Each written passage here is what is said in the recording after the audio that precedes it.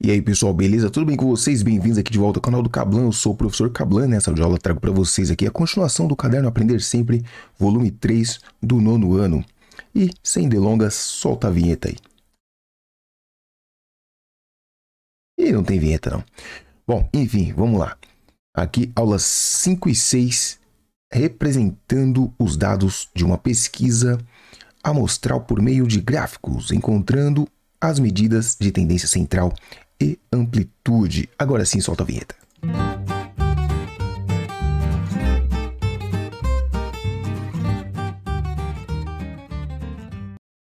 É isso aí. O objetivo das aulas é ó, identificar o tipo de gráfico mais adequado para representar os dados de uma pesquisa, compreender os significados das medidas tendência central, amplitude de um conjunto de dados obtidos por meio de uma pesquisa.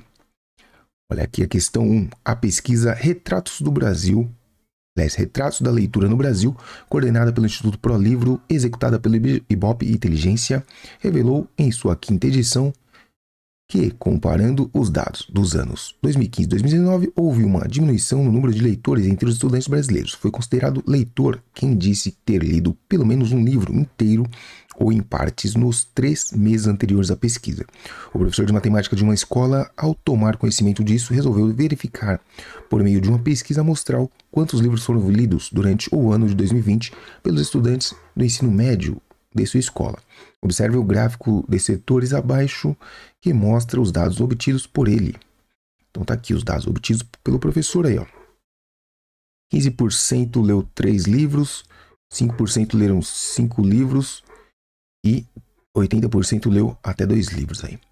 Esse tipo de gráfico, também conhecido como gráfico de pizza, leva este nome porque é formado por setores circulares. Sua utilização é recomendada quando se deseja informar dados de apenas uma categoria, ou seja, cada setor representa uma parte de um todo, sendo assim a soma das partes das porcentagens né, que aparecem nesse gráfico é 100%.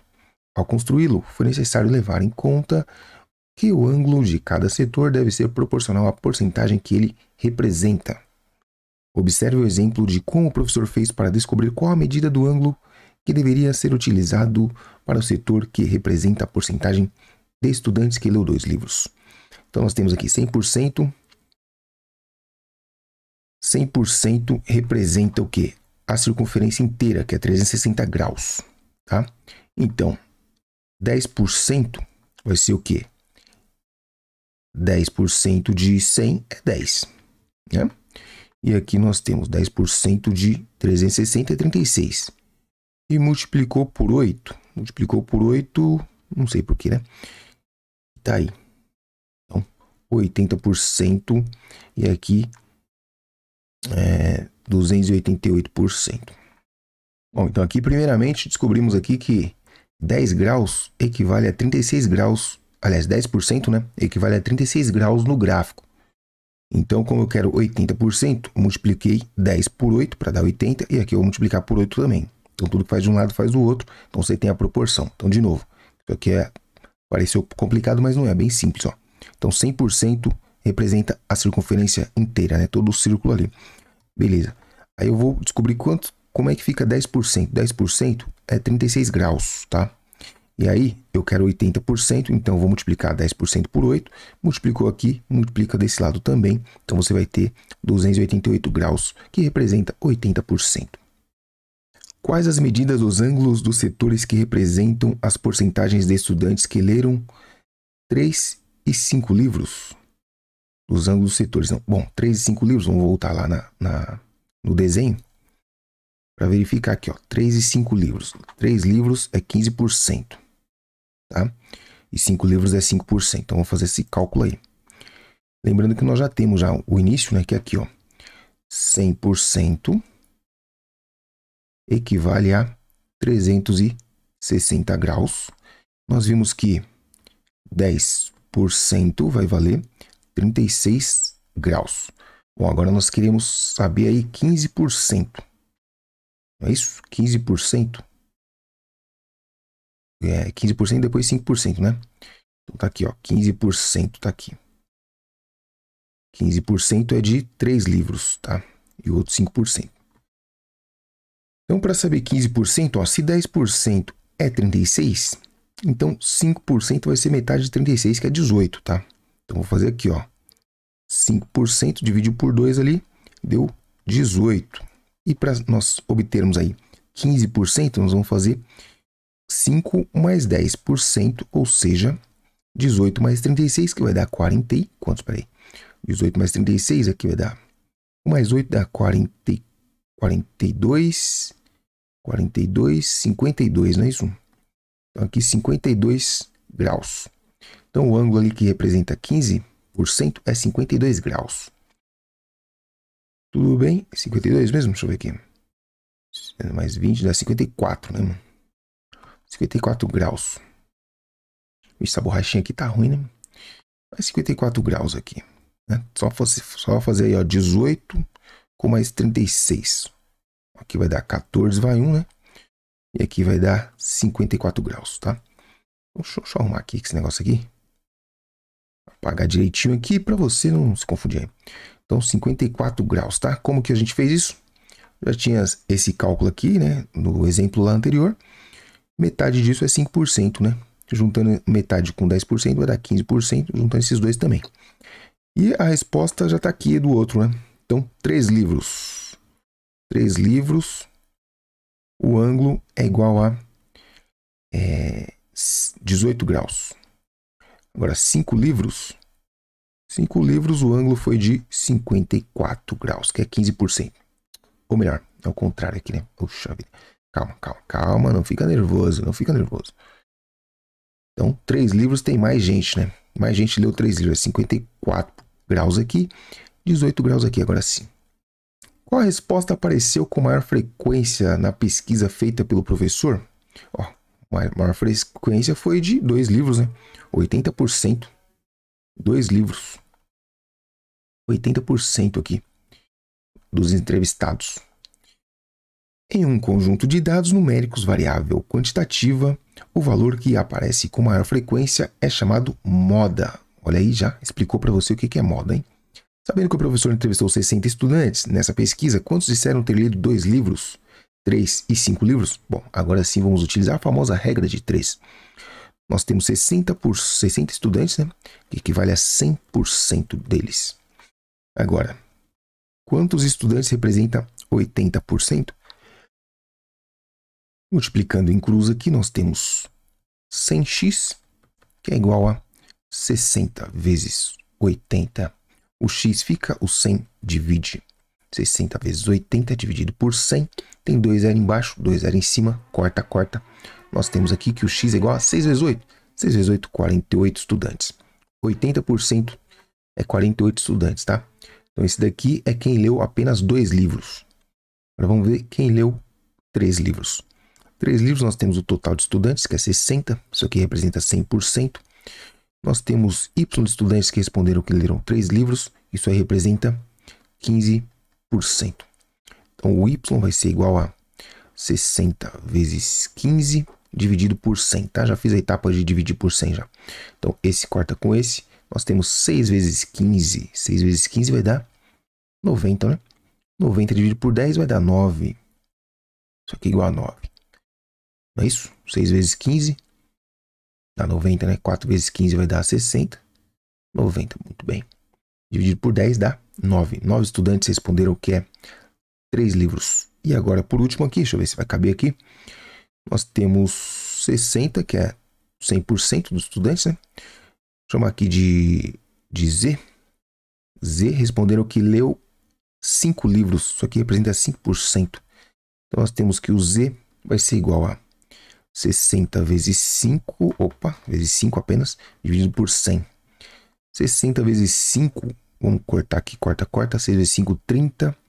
30 dividido por 100 dá 3 estudantes, tá? Então tá aí na ordem que apareceu aqui, ó. 2 livros, 48. 3 livros, 9. E 5 livros, 3 estudantes. Quantos livros foram lidos no total? Bom, no total, vamos ver aqui. Bom, no total é o seguinte, nós temos 5 vezes 48, por quê? 48 estudantes leram 5 livros. Nós temos 3 vezes 9, porque 3 estudantes leram, é, 9 estudantes leram 3 livros. Na verdade, aqui é dois livros só. Calma. Aqui é dois livros, que é a maioria, né? A maioria deu, leu dois livros só. Nessa ordem aí. Então, dois livros. Aqui, cinco livros foram apenas três estudantes. Então, só soma aqui o total de livros, ó. Duas vezes 90, é, 48 dá, dá 96, né? 3 vezes 9, 27. 13, 5, 15. Somando tudo aí, nós temos 13, 18 vai 1, 10, 12, 13, 138 livros. Eles leram juntos aí 138 livros. Outra forma de representar os dados dessa pesquisa é através da média de livros lidos pelos estudantes. Para encontrar esse valor, o professor precisou dividir o total de livros lidos pela quantidade total de respostas. Qual valor ele obteve? Então, nós temos aqui é, a média. Média. Vamos fazer exatamente o que ele falou para fazer aqui, ó. Pegar o total de livros, né, que deu 138, foi isso?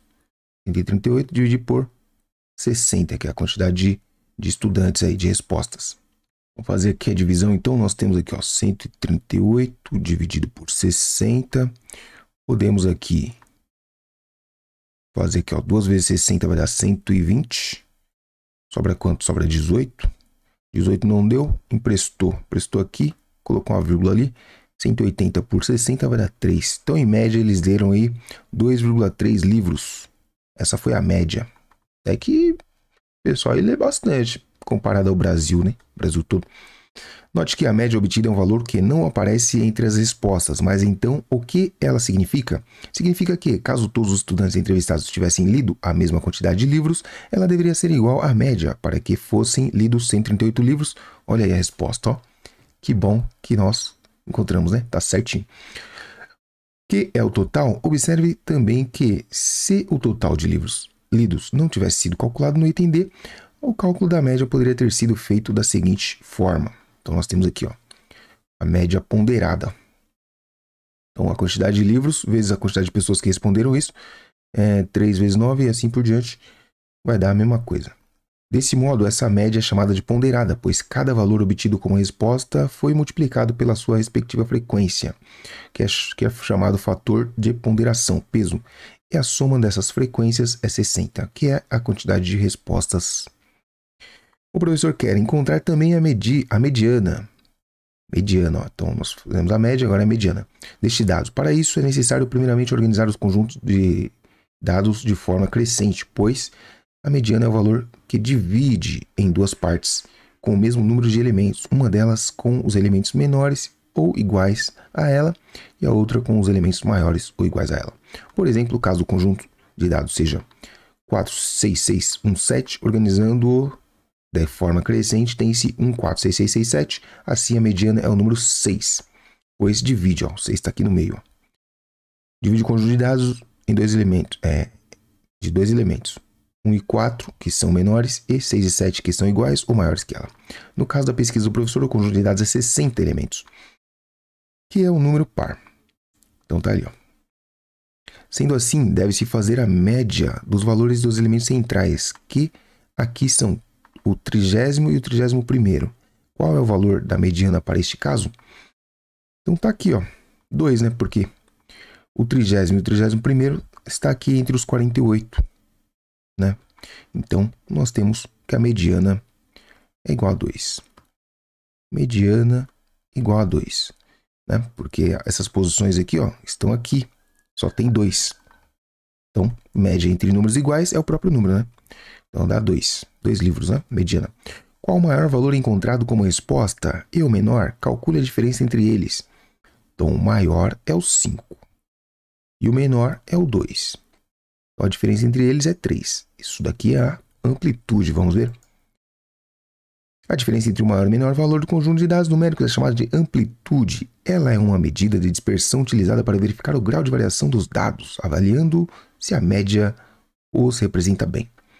Observe-se assim que quando os dados são numéricos, variáveis quantitativas, é possível representá-los não só por meio de uso de gráficos, mas também a partir de um único valor, utilizando medidas de tendência central, média, moda e mediana e a amplitude. O professor que fez pesquisa, a pesquisa citada no item 1, também decidiu apresentar aos estudantes a quantidade de livros lidos em cada bimestre de 2020. Para isso, ele utilizou o gráfico de linhas, que é recomendado para quando se deseja observar se houve aumentos ou diminuições dos dados com o passar do tempo. Note que em ambos os eixos os dados estão distribuídos de maneira uniforme, sendo que no eixo horizontal estão as categorias e no vertical os dados numéricos. Quantidade de livros lidos pelos estudantes de, do ensino médio em cada bimestre. Tá aí. Então, após observar o gráfico, responda às questões abaixo. Nós vamos observar aqui o gráfico, ó, primeiro bimestre, 30 livros, segundo bimestre, 25, aqui por diante. Ó. Então tá aí a quantidade de livros lidos. Qual bimestre os estudantes leram mais livros e em qual leram menos livros? Então, menos livros foi no segundo bimestre, foi 25. Tá? Então aqui, menos livros no segundo, mais livros no quarto. É, final de ano tem que tirar nota, né? Então todo mundo lê o que o professor pede, né? Vocês são embaçados. Muito bem, então você vai colocar aí, né? Estudantes leram mais livros no quarto bimestre. Então, é, respectivamente, né? Mais livros e menos livros no segundo bimestre. Preencha a tabela abaixo com as quantidades de livros lidos em cada bimestre. Então aqui nós temos ó, 30, 25, 40 e aqui parece que é metade, né? 45. Então ficou assim, ó. 30, 25, 40. Vamos ver, tem que dar 138, né? Para 138 falta quanto, ó? 70 com mais 25 dá 95. 95 para 138. 138 menos 95, quanto que dá? Aqui vai dar 3, 13, 0. Aqui vai 13 tira 9, fica 4, 43. Pronto, tá aí. Completada a tabela. Qual é a amplitude dos dados apresentados nesse gráfico? Então, a amplitude é o seguinte: é a maior quantidade, que é 43, menos a menor, que é 25. Isso aqui vai dar quanto, hein? 43 menos 25, tem que fazer essa conta aqui. 3 emprestou, ficou 3. 13 tira 5, ficou 8. 18. Então, 18 é a amplitude. Qual é a média de livros lidos por bimestre? Então, a média... A média nós vamos... Nós vamos dividir, né? A quantidade de livros total pela quantidade de bimestres, que são 4. Então, 138 dividido por 4, tem que fazer essa conta aqui. 138 dividido por 4, né? Do, 3 vezes 4 dá 12, sobra 1, baixou 8. 18 por 4 vai dar vai dar 4 vezes 4 é 16, né? 4 vezes 4 é 16, sobrou 2, né? Baixou o zero aqui, vírgula, 20 para 5. 34,5 livros aí por bimestre. Nesse caso, a média calculada não é chamada ponderada, como no item 1, e, pois, foi necessário somar apenas a quantidade observada para cada bimestre, sem ter que multiplicá-las por alguma frequência ou peso. É possível representar esses mesmos dados em um gráfico de setores? Justifique. Bom, sim. Nós transformamos esses valores né, dos bimestres em porcentagens, depois transformamos em graus, igualzinho lá no, no, no anterior, né? Então você vai. Sim, de boas. A justificativa, não sei justificar muito bem não, mas tranquilo, né? você tem lá o, a circunferência, você vai dividir aqui em setores. Cada setor vai ser um bimestre. Simples assim. Um, dois, três, quatro. Né? Claro que esse daqui não é o verdadeiro, né? Mas é assim. Você vai pegar esses valores aqui, ó, da tabela e transformar eles em graus, né? Primeiro em porcentagem, depois em graus, igualzinho aquele exercício anterior lá. Ainda bem que ele não pediu para fazer, né? Por enquanto, né? Espero que não peça. Ao apresentar sua pesquisa para a diretora da escola, o professor ficou sabendo que já havia sido feita uma pesquisa parecida no ano de 2016. Ele encontrou a tabela abaixo que mostrava a quantidade de livros lidos pelos estudantes do ensino médio de 2015 por bimestre. Está aqui, ó. Então eles leram mais, né? Sendo assim, ele resolveu comparar os dados obtidos nas duas pesquisas. Para isso, ele utilizou o gráfico de colunas. Esse tipo de gráfico é muito utilizado para representar dados quando se deseja compará-los. Eu estou na frente aí, mas eu estou lendo para você aqui, né? ou mostrar alterações ocorridas, por exemplo, deixa eu tirar eu daqui, ó. por exemplo, em um determinado período de tempo. Beleza? Vou voltar aqui. Vamos ver o gráfico aí de coluna. A comparação da quantidade de livros lidos pelos estudantes do ensino médio em cada bimestre está aqui. E já está dando muito tempo de aula já. Acho que eu vou dividir esse vídeo em dois, hein? Tá demorando muito para acabar. Então tá aqui, ó, vermelho, aqui o azul é 2015, vermelho 2020. Dá para perceber que só aumentou no segundo bimestre de 2020, né? O resto tudo foi men menos, leram menos. Esse gráfico é composto por dois eixos, por um eixo e por um eixo vertical, né? Sendo contém categorias e tal. Em qual bimestre observou-se maior quantidade de livros lidos e a menor? Faz a observação dos gráficos. Bom, maior quantidade aqui, no caso, depende, né? Tá falando de quem? Algumas características desse tipo de gráfico são que todas as colunas possuem a mesma largura, a distância entre as colunas, categorias de diferença é sempre a mesma. Bom, segundo e aqui terceiro, né? Mas aí não dá para saber direito não, meu. Em qual bimestre observou-se maior quantidade de livros lidos e a menor? Vamos ver aqui, vamos ter que juntar, né? Aqui nós temos, ó, sei lá, 45. 45 mais 30. Aqui foram 20. Mas aí eu tô, eu tô analisando os dois anos, né, meu? Eu não entendi direito não isso aqui, não. Bom, só pode ser o seguinte, ó. Então vamos analisar aqui, ó. Segundo bimestre de 2015 foi que leram menos, tá vendo aqui? E no terceiro bimestre de 2015, então vai ficar assim, então, ó. Quanti maior quantidade foi no terceiro bimestre. Terceiro bimestre 2015. Maior quantidade. E a menor quantidade foi no segundo bimestre de 2015. Menor quantidade de livros lidos aí. A quantidade média de livros lidos por bimestre aumentou ou diminuiu de 2015 para 2020? Então, 2020 já fizemos já. Então, a média aqui de 2015 vai ficar assim, ó, 147, né? Peraí, 140 e quanto? Só ver quantos livros lá eles leram aqui. 147, isso mesmo. É 147 dividido por 4 aí, né? Que é a média por bimestre. Então ficou assim, ó, 147 dividido por 4, nós temos 3 vezes 4, sobrou 2, baixou 7. 27 por 4 vai dar 6 vezes 4. 4 vezes 7 dá 28, né? 4 vezes 6 dá 24, sobrou 3. 0,30 por 4 vai dar quanto? Vai dar 7, né? 7 vezes 4 dá 28, sobra 2, 0,20. 36,75 aí é o valor. Então, leram mais no, em 2015, né? É possível apresentar esses dados no gráfico de setores e um gráfico de linhas? Sim, ué. a mesma justificativa do outro.